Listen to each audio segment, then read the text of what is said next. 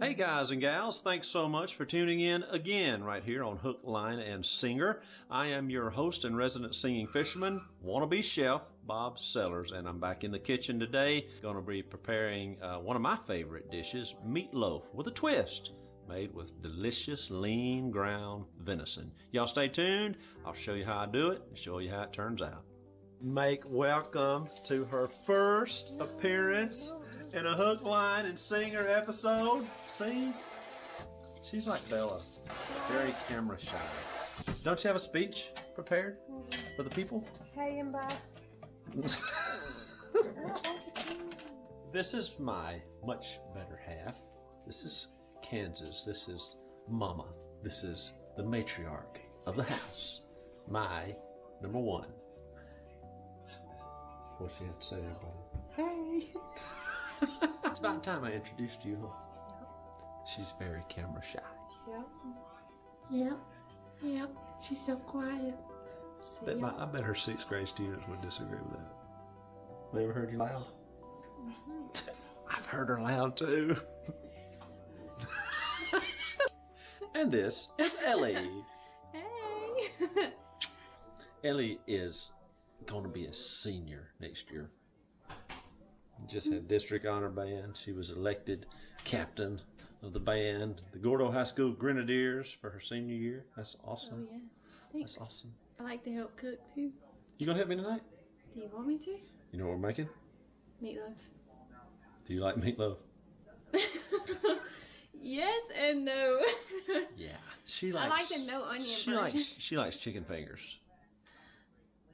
She doesn't eat anything green. I tried pickled okra the other day and it's pretty good. Pickled okra. I did. Brandon Reese approves. Brandon loves pickled okra. Anything pickled tastes just alike. Pickled eggs, pickled pickles. What are pickled Texture pickles? just changes. Cucumbers. See, I can't stand cucumbers. I won't touch them. I won't eat a salad that cucumbers have touched, but I love pickles. Go figure. Alrighty. I have done a little. Boy, I had to use. I had to say this last video I cooked in pre-preparing, pre-preparing, previously prepared. I've done some preparing in advance to shorten this up. Uh, these are all the ingredients that are going in our meatloaf. Of course, we have our beautiful, lovely ground venison right there. About two pounds, give or take. That maybe a little more, maybe a little more. I think there's that's actually closer to three pounds, but that's all right. We've got two eggs. I've got one can of uh, tomato sauce. I've got one small can of tomato paste. Right here, I've got two uh, cups of bread crumbs, and we actually didn't have any um, bought breadcrumbs. And I'll tell you an easy way to get yourself two cups of breadcrumbs. Uh, we put 12 uh, pieces of white bread in the oven and got them super toasty and crispy.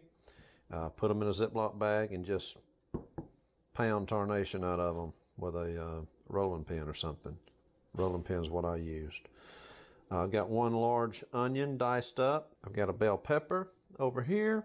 Uh, I've got all of my dry ingredients uh, put together right here already. Went ahead and did that. In here uh, is three teaspoons of salt, half teaspoon of pepper, a teaspoon or so of onion powder, a teaspoon or so of garlic powder, about a half teaspoon of oregano, and that's all of our dry seasonings for the meatloaf right there. The only other seasoning that goes in the meatloaf is uh, a teaspoon or so. Uh, y'all know I'll probably do two. And I showed you guys this in my last cooking video, but man, I, I highly recommend that over buying fresh garlic. Nothing wrong with fresh garlic, obviously, but uh, you won't get any more flavor or aroma out of real garlic than you do that right there. I mean, it's real. It's just it's just minced and in a jar, ready to go. Saves you a lot of time. Does it smell strong, Yes. Mama? Yes. Yeah, Good. Mama says it does, but good. All right, let's put this together. In a large mixing bowl, I'm going to put our ground venison. I mixed my eggs and my tomato paste and my tomato sauce uh, in a bowl together. I added my all my dry ingredients to that and mixed that up real good. I poured it over the meat. Then I just poured in my onions. I added my bell pepper. I added my uh, breadcrumbs, and I added about two tablespoons of minced garlic. And uh, now, as you can see, my board is clean. Uh, that is a board that Wayne uh, Price, a friend of mine from Charleston, West Virginia, Wayne and Sharon sent that to me over uh, COVID teen quarantine last year, and I use it a lot. It's beautiful, isn't it? I really appreciate it. Thanks, Wayne, Sharon. Now, the fun part. Just mix all this up, and there's only one way to do it, y'all. You got to get in there with your hands. Get in there with your hands. Break all that up and mix it up really, really well. So meatloaf is not for sissies. you got to keep calm and bake on. Mm. Oh, that smells so good already. All these flavors are incorporating. The breadcrumbs and the egg serve as binders to keep this all nice and, and firm. Yeah, this is looking really nice. Just keep mixing it really well.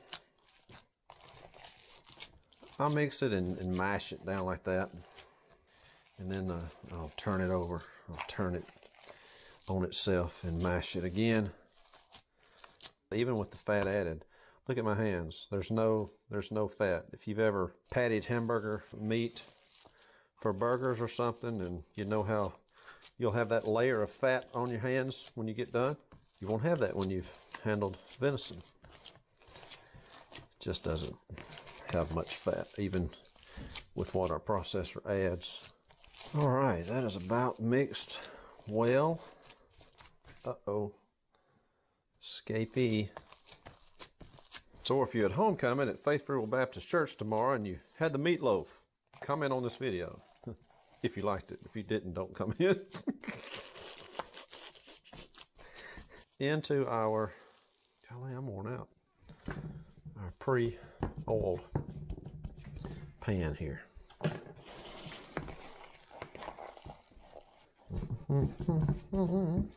Chris Jenkins, this is for you, buddy.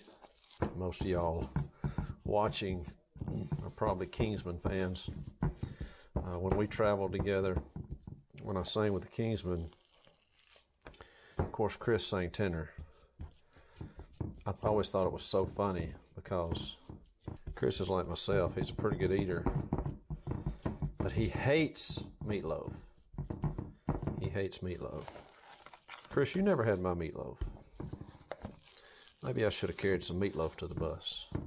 I did get him eating uh, Ward's Chili Burgers, chili cheeseburgers from Ward's. That's a burger chain in Mississippi.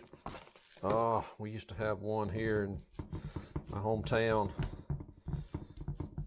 And it was so good. They served chili burgers, homemade root beer in a frosty mug. This pan is actually going to work out just right for this because it'll shrink up just a little bit. It'll pull away from the sides as it cooks. I haven't told y'all yet about my sauce that goes on top. I'm going to tell you about it right now. Here is the sauce that I've prepared already. It just consists of about half a cup of ketchup, two tablespoons of mustard, two tablespoons of white vinegar, and three, eh, maybe four tablespoons of brown sugar. Just mix that all up good. And we're going to pour that over the top of this. This has actually turned out just perfect for this 9 by 12 Pyrex dish. Now I'm going to take our ketchup mixture here and just pour it over the top. It's going to set it off there. That vinegar in there adds a little bit of a tanginess to it, along with the ketchup and the mustard, but gives it that great tomato taste that you, in my opinion, just have to have for good meatloaf. I'm going to spread this out evenly.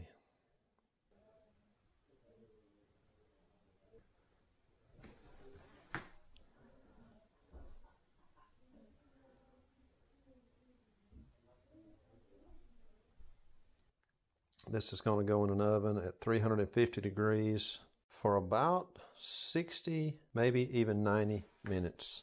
But uh, that's it as far as the preparing. And now we're going to put it in the oven, and in about an hour, hour and a half, we'll be showing you how it turned out. All right? Y'all stay tuned. So I can't have meatloaf without mashed potatoes. That's right, mashed potatoes, not creamed potatoes. Creamed potatoes are served uh, north of about Tennessee. Down here in the real South, we have mashed potatoes, and I'm about to mash them. Actually, I'm about to mix them, so I guess they're really going to be mixed potatoes. Oh well. I think everybody watching probably knows how to peel a potato and cut them up. That's what happened here. I put them in a big pot, uh, covered them with water, and they've been boiling a while, and the uh, potatoes have gotten tender. Now it's basically just a matter of flavoring them. But the first step is to pour off this water. But before I do that, let me show you all this chocolate bundt cake that Kansas made. And Ellie added the chocolate. How do you say that? Ganache. Ganache. Bless you. Mmm, looks good and smells good. Okay, I've drained the water off of our potatoes, and this is five pounds of potatoes. I think these are actually white potatoes or russet potatoes. They're not red potatoes. It's all I had. Um, I've, I've used them before, and they make really good mashed potatoes. So let's add a few things. First step I'm going to do, uh, you've watched me cook before, you know that in a recipe that calls for butter, or in a recipe that calls for onions, you can't put too much butter and you can't put too much onion. That's just my number one cooking rule. So we're going to start with a stick of butter. Again, this is about five pounds of potatoes.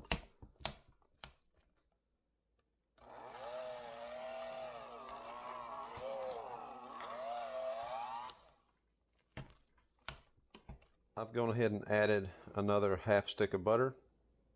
I added an entire 16 ounce uh, container of cream cheese. And I added a good tablespoon of garlic and some garlic powder. Just sight seasoning here.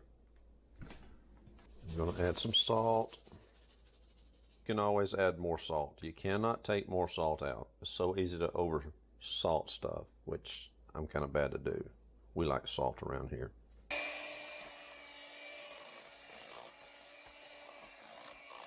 Get the lumps out. I'm gonna add the final bit of butter. So that's two sticks of butter.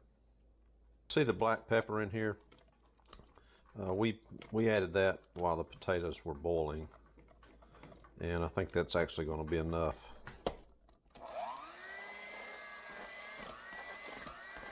Taste time. Mmm. Mm-mm. Pretty doggone good. Just a little more salt, not much.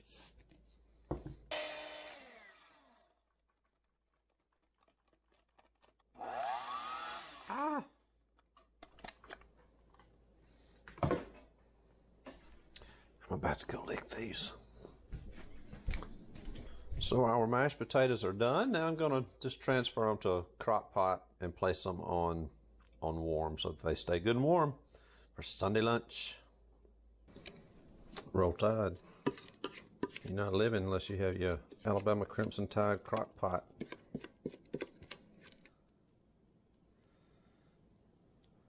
Oh, for a little presentation garnish, I'm just going to sprinkle a little parsley over top.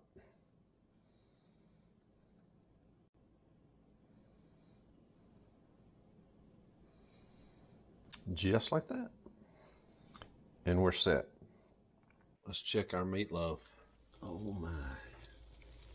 See, it's getting a little bit crispy around the edges. But look at that. See that boiling, bubbling goodness in there? This meatloaf's ready, folks. Let's get it out and I'll show it to you. I know I say this every time I cook, but oh, I wish y'all could just smell it. I wish y'all could smell that. It is wonderful. Oh my. I would love to get some out and show you a slice, but this has got to go to church. Hey, thanks again for tuning in to this video. Uh, I hope you enjoyed that quick and really easy uh, way to prepare meatloaf. If you don't have ground venison at your disposal, and I know a lot of people don't, and I know a lot of people don't want it, substitute ground chuck for the ground venison, and uh, it'll turn out uh, almost as good. Hey, y'all give this a try and let me know in the comments how it turned out for you. Thanks again so much for watching, and God bless you. Remember, God loves you, and so do I. Bye. We're gonna have service this morning, and I was gonna sing some, and then we're gonna have old fashioned, I call it dinner on the ground, wonderful lunch. You know, that's something else Jesus liked to do. He loved his disciples. He loved to eat with them. Bread and fish upon the fire. We try to do Christ-like as we can at our services, don't we? Jesus paved the way, and we're just following. Just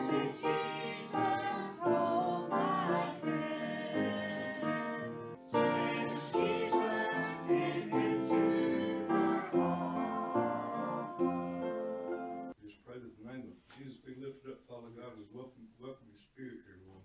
Amen. Ask these things in Jesus' Amen. Amen.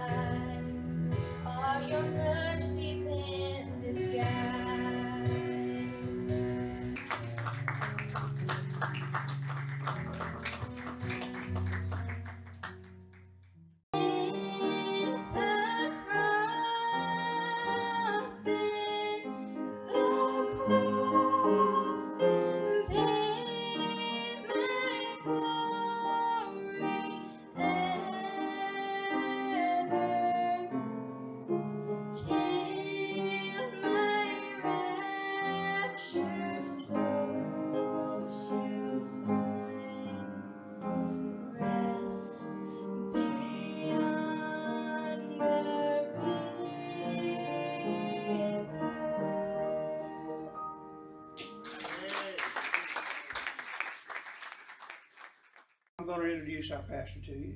His name is Brother Scott Driver. Love him with all our hearts. He preaches the Bible, nothing else. Amen. Good morning. Good morning. It's good to see each and everybody out this morning. We need to really remember what homecoming is truly about. We have come together to give God Almighty, His Son Jesus Christ, the praise that He deserves. That's why we're here for homecoming. We have to remember this is not our home. This is not our world. We're just passing through. We're getting prepared for the home that is coming. Can you truly imagine there never being any more darkness, any more pain, any more suffering, any more worry, any more worried about how your kids going to, are going to turn out, how they're doing in school, how they're going to do with their jobs. There's going to be no more worrying about that one day. When Jesus steps out, people, we are going home. But here's the key to the whole thing. If you do not know Jesus Christ as your Lord and Savior, you will not go. Those who are prepared will meet him in the air. But if you're not, hell will be your new home. A lot of folks don't like to hear that. A lot of folks don't like uh, preachers to preach on hell and say it's a chance you may go. If you do not know Jesus as your Lord and Savior, hell will be your new home. People, we need to be godding up. We need to get back where we need to be and put Satan back in his place. Glory to God, this is homecoming. We're ready to go home. If Jesus comes out today, are you ready? This is the time when we need to get right. We need to be on the Word of God. We need to stand true on that rock because Jesus is coming. His Word tells me he is. My Jesus, my Lord and Savior, is no liar, and He does not break promises. Our job is, is to glorify His name. Let people know that He is still saving souls. He is still a forgiving God. He is still coming back after His children. I, Jesus, have sent my angel to testify unto you these things in the church. I am the root of the offspring of David and the bright and morning star. Jesus Christ is everything to us in our lives if you know Him as your Lord and Savior.